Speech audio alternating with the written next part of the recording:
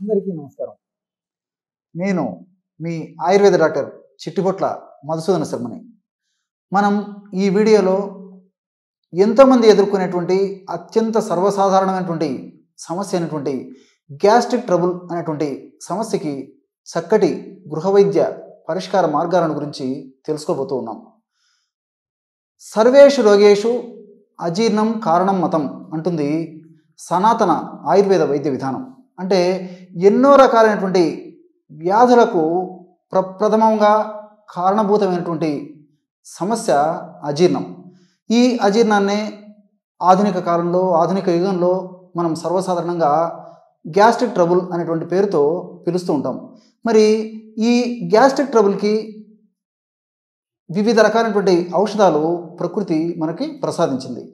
వాటిలో ఒక్క ప్రధానమైనటువంటి అంటే ఎంతోమంది వాడి సత్ఫలితాలు పొందినటువంటి అనుభవపూర్వకమైన మరి మీకే మీరు కూడా సులువుగా తయారు చేసుకోదగ్గ వాడుకోదగ్గ లబ్ధి పొందదగ్గ ఒక గృహ వైద్య విధానాన్ని ఈ కార్యక్రమంలో తెలుసుకోబోతున్నాం. దీనికి కావలసినటువంటి వస్తువులు నాలుగే నాలుగు. మొట్టమొదటిది కరక్కాయ. చూస్తున్నారు కదా? కన్నతల్లిలా కాపాడేటువంటి కరక్కాయ. ఈ కరక్కాయలు సంవత్సరం అంతా కూడా ఆయుర్వేద ఔషధ విక్రయశాలలో పచారి కొట్లలో డిపార్ట్మెంటల్ స్టోర్స్లో దొరుకుతాయి అన్నమాట మొట్టమొదటిది కరక్కాయ. అలాగే రెండవది శొంఠి.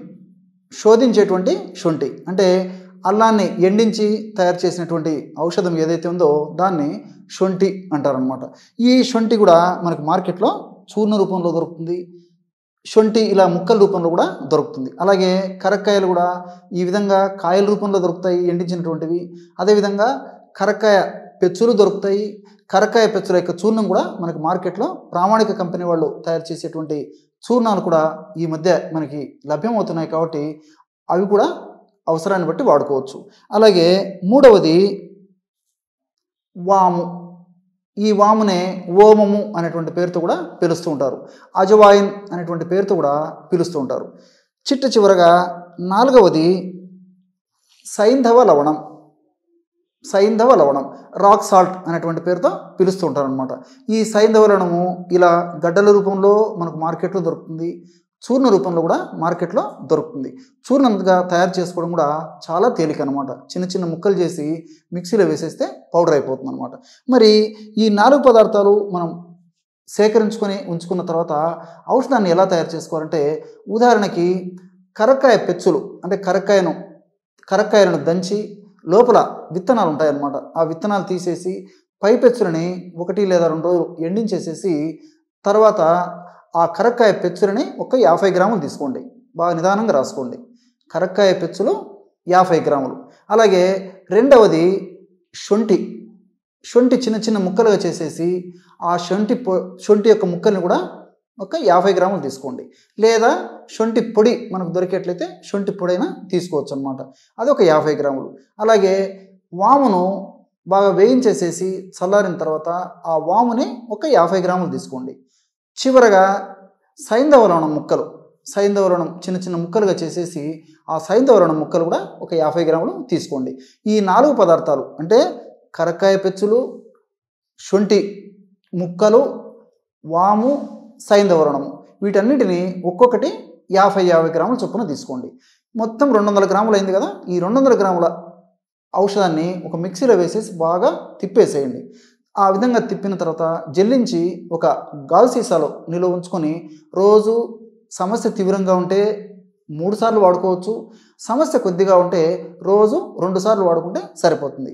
ఎలాగంటే ఉదయం ఆహారం తర్వాత మధ్యాహ్నం ఆహారం తర్వాత రాత్రి ఆహారం తర్వాత ఒక పదిహేను నిమిషాల తర్వాత ఒక రెండు గ్రాముల యొక్క చూర్ణాన్ని యాభై మిల్లీలీటర్ల నీళ్ళలో కలిపేసి సేవిస్తుండాలి.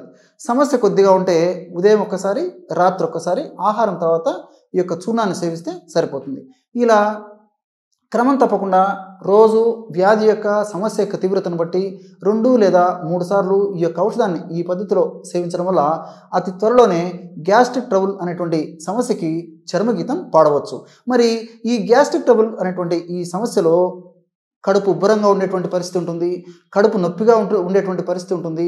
అదేవిధంగా కడుపులో రాయి పెట్టినట్లు ఉండేటువంటి పరిస్థితి ఉంటుంది.